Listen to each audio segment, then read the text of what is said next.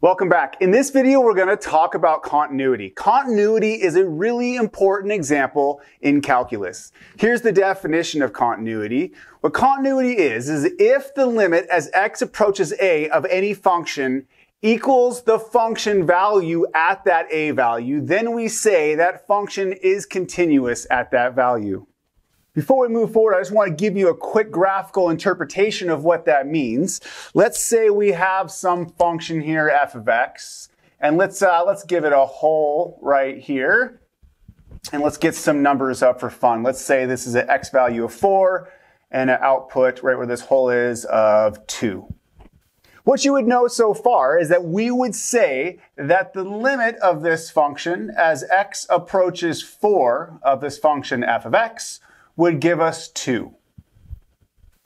We say the limit is 2 because from the left and the right, as we approach x values near 4, we output values very close to 2. Though this function would not be continuous at x equals 4 because we don't have a defined function value. If we want this function here to be continuous, what we would need to do is actually not have a hole here, but have a point there at x equals 4 giving out a value of 2. Or in other words, we want f of 4 to equal 2. Now that our function's limit at 4 is 2 and the function value is 2, we say this function is continuous at x equals 4. The following six function types are continuous on their domains. What that means, by the way, is that everywhere the function is defined at every x value, it's also continuous. And you will see the ramifications of that real soon. First up, polynomials. Polynomials are continuous on their domain. Radicals are also continuous on their domain. Exponentials trig functions, rationals, and logarithmic functions. We won't go into the detail of proving these, but just know that we know that all of these function types, uh, where they're defined on their domains, they are continuous. Our next theorem states that if you have two functions that are known to be continuous at a certain x value, and if you consider c a constant, then the following combinations of these functions are also continuous at that x value. For instance, the new function f plus g, that function is continuous at a, f minus g is also continuous. It's also continuous if you multiply f and g by that constant. So c times f and c times g. Those four new functions, again, those are combinations of functions. Those are all continuous at x equals a. Also, if you multiply f and g, the resulting function is continuous at the a value. And if you divide them, it's also continuous. That is given that that G does not output zero at A. Obviously, we can't divide by zero, so we'll just write that in. So G of A cannot be zero for that to be continuous at A.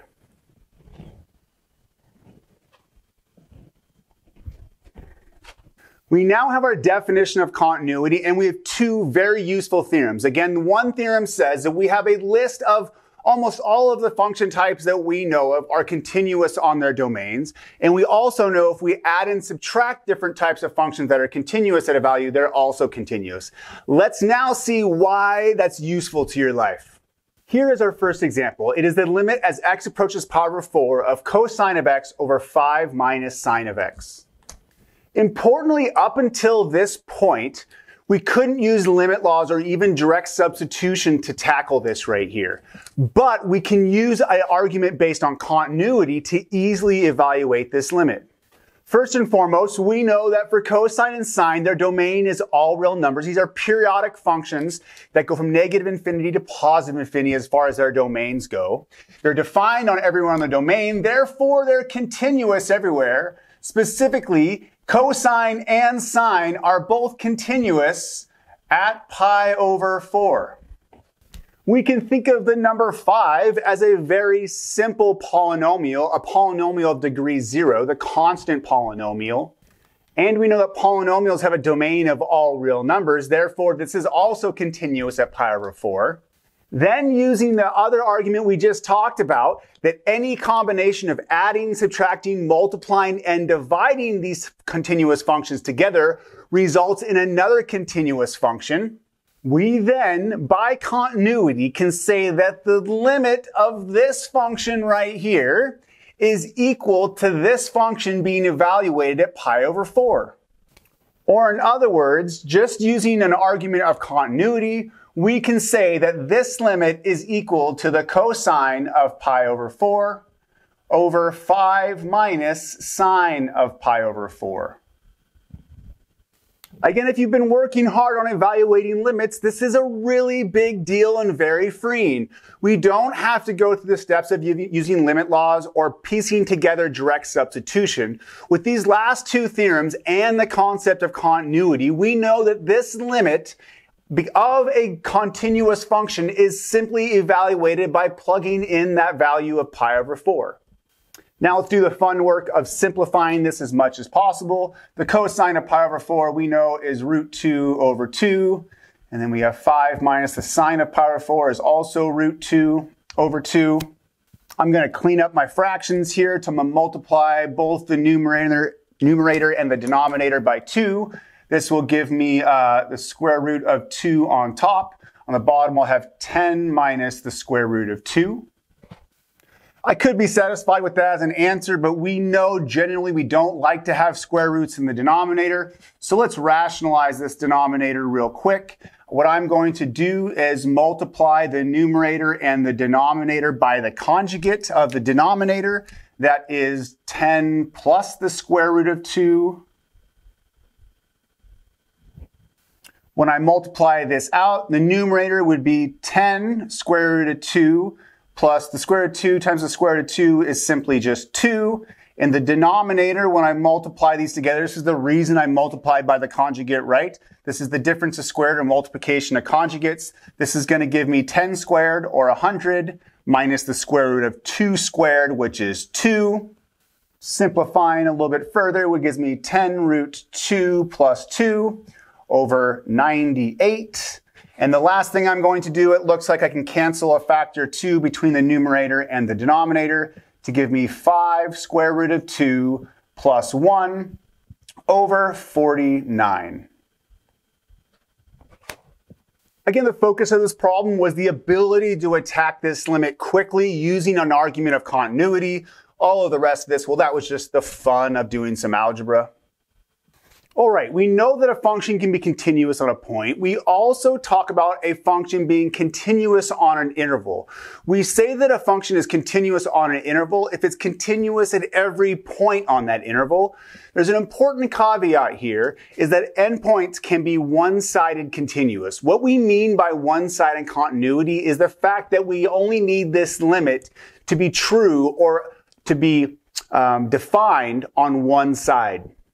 Our function f here is the piecewise function, which defined between negative 1 and 1 as 1 over x. This includes 1 and negative 1, importantly. After 1, we're the linear function 3x plus 1.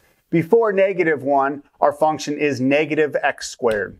If we look at here, we now have a graphical representation, which is not too hard to produce. If you see this on the left-hand side of negative 1, we have this parabola, this x squared.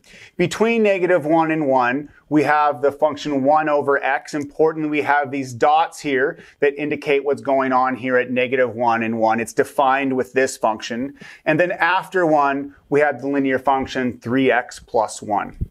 Given a graphical argument, knowing the concept of limits and function values, we can argue the intervals of continuity of this function right here.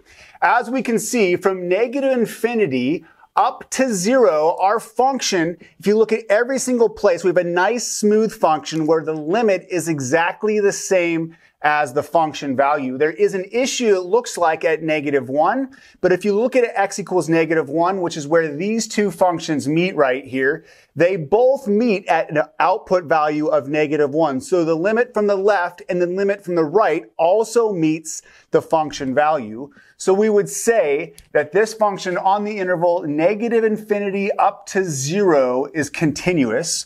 We can't include zero, importantly, because this function is not defined at zero.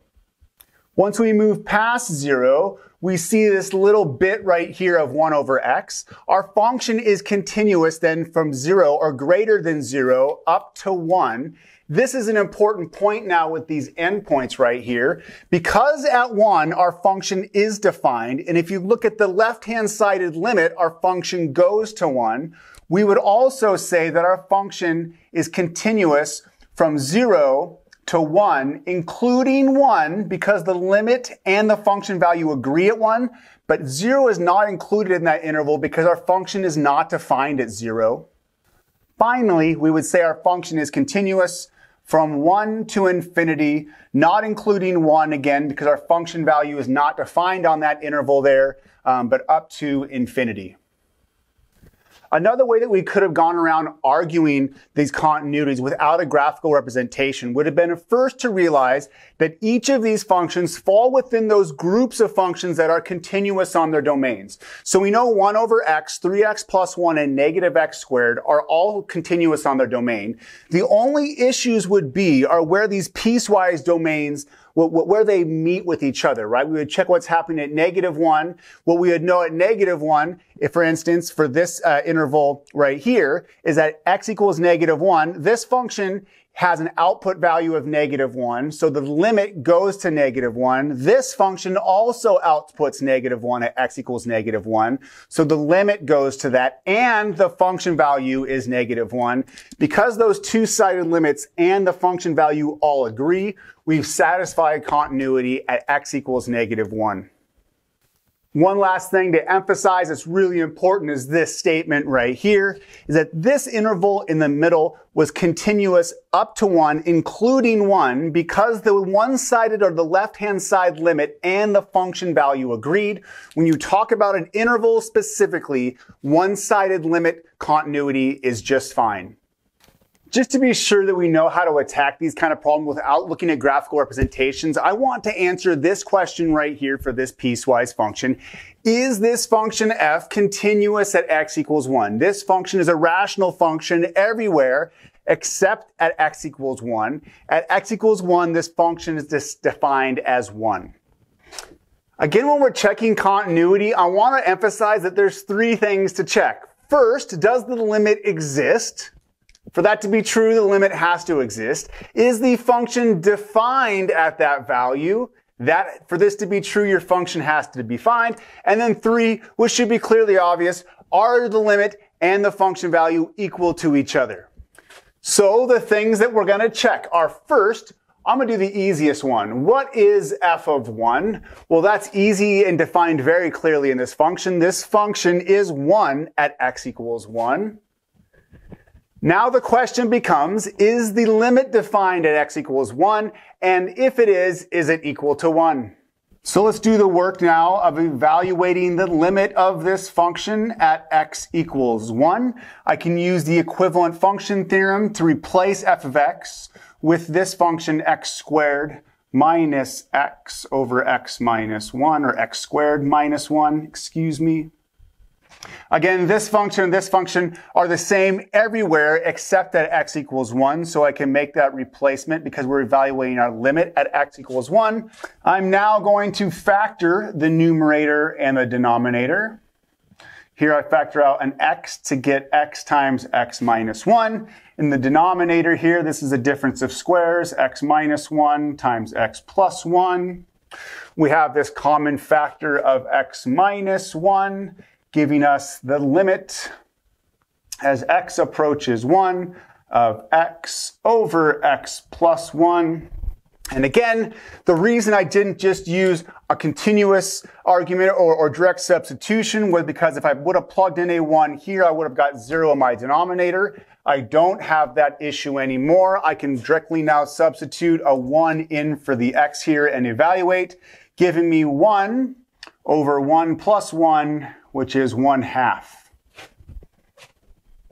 What we've now found is that the function is defined at 1. We have a limit defined at 1. The issue here is they're not the same. The function is defined as 1. The limit of this function is 1 half. So the limit as x approaches 1 of this function is not equal to 1. Therefore, f is not continuous or f is discontinuous at x equals 1. The last theorem I want to give you for this video is the composition of functions, and this one states that if the function g is continuous at a, and the function f is continuous at g of a, in other words, if f is continuous at whatever this function outputs at x equals a, then f composed of g of x, or maybe the easier way of remembering this notation is f of g of x, that function right there is also continuous at x equals a. This theorem is important because this puts a button on the previous one where we added, subtracted, multiplied, and divide continuous functions. Now we know that combining two continuous functions in every normal algebraic way that we understand will result in a continuous function as long as we don't develop some type of domain issue. Just to give a quick example of this right here, if we're asked to evaluate this limit as x approaches pi of sine composed of x plus sine of x, the thing here is now within the argument or the input of sine, we have more things going on. Though what we have is a polynomial a trig function, the addition of a polynomial and a trig function, which we understand to be continuous. So the inner function here, which would be g, is a continuous function. Then the only thing we need to be sure is, is that this outer function sine is also continuous at the output of these at pi. Though sine as a function is continuous and is, is defined for all real numbers, you can input whatever you want into sine. There are no domain restrictions. So we have satisfied this. Therefore, this limit is equal, out of an argument of continuity, is equal to sine of pi plus the sine of pi. We can just evaluate this. Remember, sine, sine is zero at pi. So this will just give us the sine of pi, pi plus zero. This will give us the sine of pi, obviously, which is just zero. Again, one of the beauties of this section, as long as you don't abuse it and you follow the theorems and the rules that you're allowed to, is that we can evaluate difficult limits quickly using an argument of continuity. A function is continuous if its limit at a is equal to the function value at a. We know that the six major types of functions that we know about are continuous on their domain. We know that if we add and subtract and multiply and divide them together or by a constant, we result in a continuous function. Finally, we know that if we compose continuous functions together, we'll get a new continuous function, which makes our lives a whole heck of a lot easier when we're trying to evaluate limits.